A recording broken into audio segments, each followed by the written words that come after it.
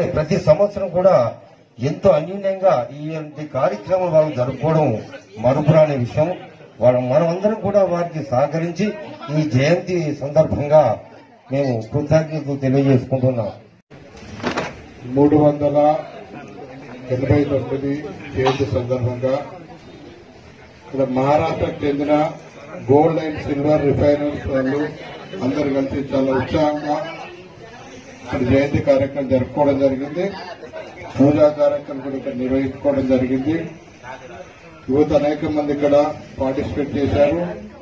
ఏదైతే స్మరించుకుంటున్నామో వారి స్ఫూర్తిని గుర్తు చేసుకుంటున్నామో మరి శివాజీ స్ఫూర్తి ఆ సూర్య చంద్రులు ఉన్నంత వరకు కూడా ఇలాగే ఉంటుందని సందర్భంగా నేను తెలియజేస్తూ ఏదైతే వారిని మా ఈరోజు యువత పూర్తి తీసుకోవాల్సిన అవసరం ఉంది.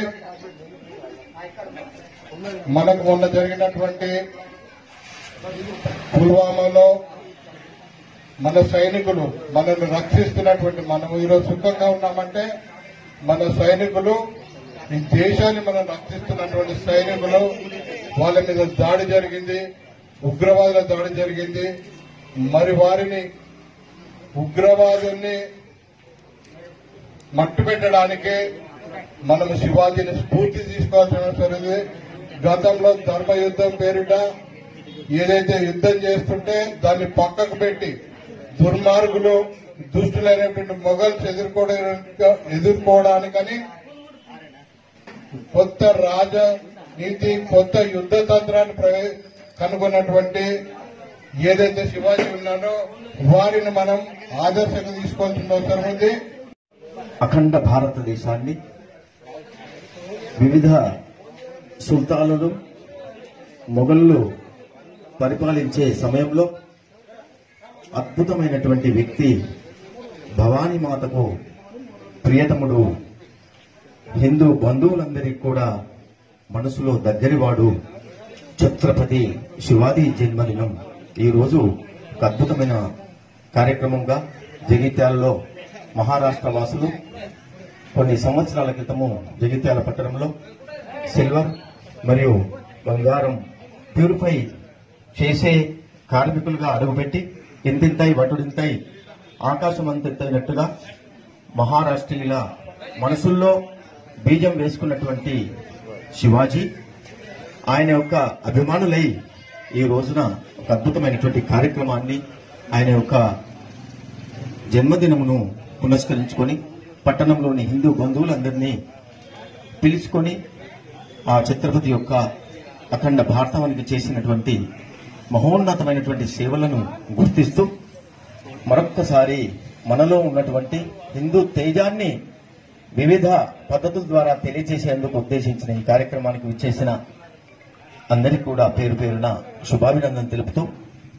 అమ్మ ఒడి నుండి కత్తిని దూసి ఇచ్చిందట. హిందువులకు వ్యతిరేకమైన ప్రతి శక్తిని ఖండ ఖండాలుగా ఖండించుమని.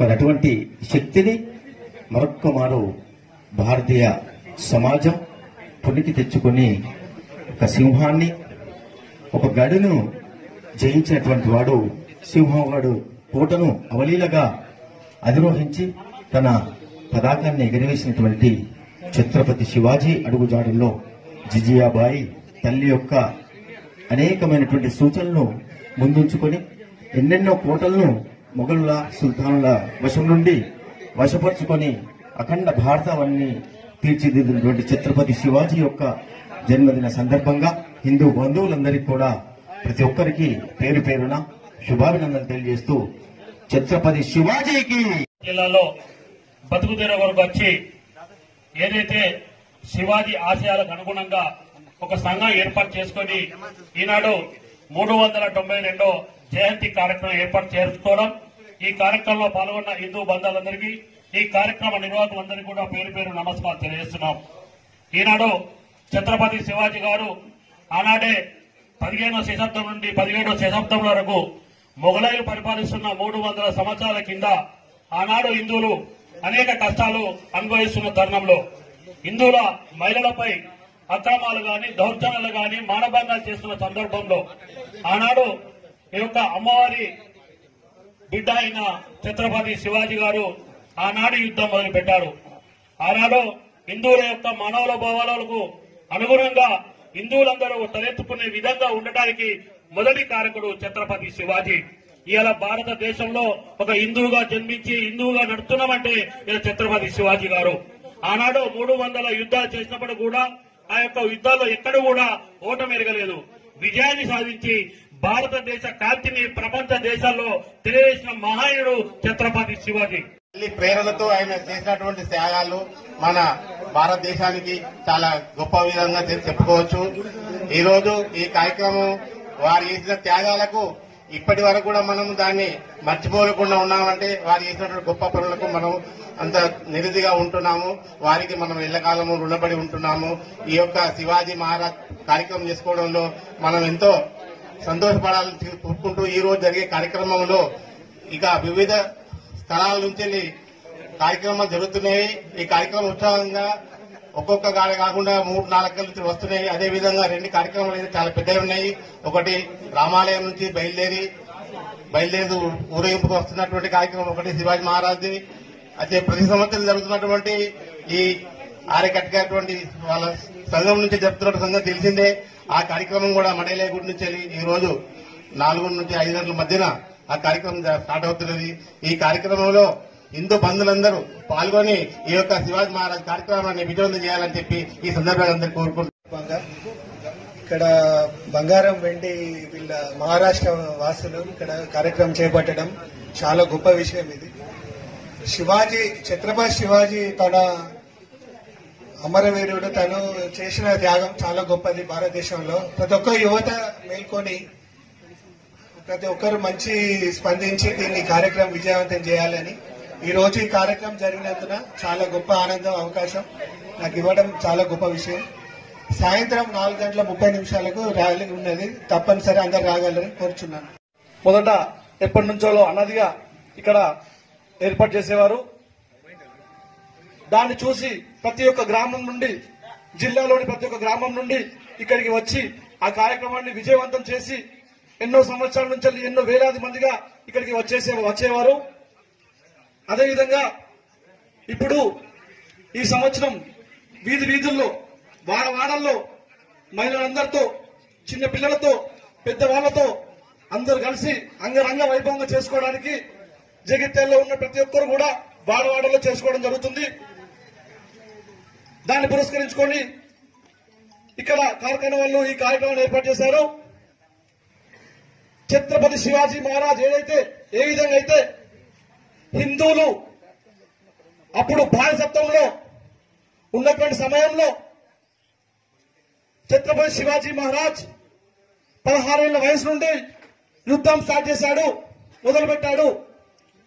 ధర్మయుద్ధం నడుస్తున్న సమయంలో ధర్మయుద్ధంలో భారతీయులు ఎప్పుడు ముందుంటారని చెప్పేసి ధర్మయుద్ధం మాత్రమే చేస్తారని చెప్పేసి మన ముందట అందరూ ఆవుల్ని ఆడవాళ్ళను ఉంచి యుద్ధం చేసేవారు. మనం ధర్మం యుద్ధం చేస్తాం కాబట్టి మనం ముందుకు వెళ్ళే వాళ్ళం కాదు. దాన్ని ఆలోచించి వాళ్ళు కుడిక ఆలోచించి శివాజీ మహారాజ్ ఎత్తేశాడు. గొరిల్లా యుద్ధం స్టార్ట్ చేశాడు. గొరిల్లా యుద్ధం స్టార్ట్ చేసి వాళ్ళను చీల్చి చీల్చి చెండావడం స్టార్ట్ చేశాడు. ఆయన కొత్త నీతిని స్టార్ట్ చేశాడు. వాళ్ళ కుడిన నీతికి భంగపరుచుకుంటూ వాళ్ళు ఎలాగైతే చేశారో వాళ్ళను పసిగట్టి వాళ్ళతో గుళ్ళ యుద్ధం స్టార్ట్ చేసి అంతం చేసుకుంటూ ప్రతి ఒక్క ప్రతి ఒక్క రాజ్యం కూడా గెలి- గెలిపించుకుంటూ తాను రాజ్యాధికారాన్ని ఎప్పుడు తీసుకోకుండా అక్కడ ఉండే వాళ్ళకి అప్పచెప్పాడు. అక్కడ ఉన్న రాజ్యం చేశాడు. హిందూ రాజు చేశాడు. అదే విధంగా ఈరోజు భారతదేశం కూడా పాకిస్తాన్ కుటుల నీతిని పాకిస్తాన్ యొక్క కుటుల నీతిని ధర్మయుద్ధం కాదు. అదే విధంగా మనం చొచ్చుకపోతూ చావు దెబ్బ కొడుతూ ప్రతి ఒక్క పాకిస్తాన్ని వశం చేసుకునే తత్వంలో నరేంద్ర మోడీ ఉన్నారు. వాళ్ళందరికీ సహకరించడానికి భారతదేశంలో గల్లీ గల్లీ కూడా గల్లీ గల్లీ కూడా ఒక శివాజీ మహారాజ్ శక్తిలా. శివాజీ మహారాజ్ తలపెట్టినటువంటి శక్తిలా మనం అందరం కూడా సహకరించి మనం ముందుకెళ్ళాలని చెప్పేసి హైందవ ధర్మ ధర్మ రక్షణ హైందవ ధర్మ రక్షణే మన ధ్యేయంగా పెట్టుకొని హైందవ సమాజ నిర్మాణం మన ధ్యేయంగా పెట్టుకొని ముందుకెళ్ళాలని కోరుకుంటూ శివాజీ మహారాజ్ జయంతిని జరుపుతున్నటువంటి ఈ కార్యక్రమాన్ని జరుపుతున్నటువంటి కార్ఖానా వాళ్ళందరికీ కూడా